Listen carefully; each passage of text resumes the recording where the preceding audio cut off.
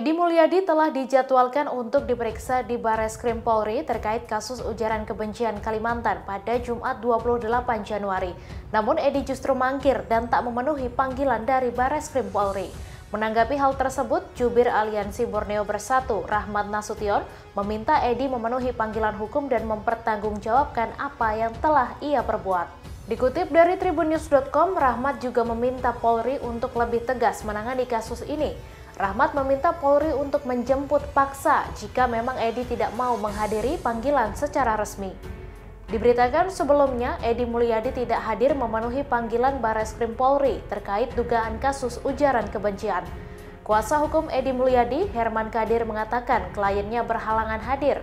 Terkait ketidakhadiran Edi dalam panggilan polisi, Herman menyebut ada permasalahan prosedur surat pemanggilan yang dilayangkan polisi. Herman juga menjelaskan detail prosedur pemanggilan yang dinilainya tak sesuai KUHAP, di mana dalam panggilan itu kliennya hanya diberikan waktu dua hari dari surat tersebut dilayangkan yakni pada Rabu 26 Januari lalu.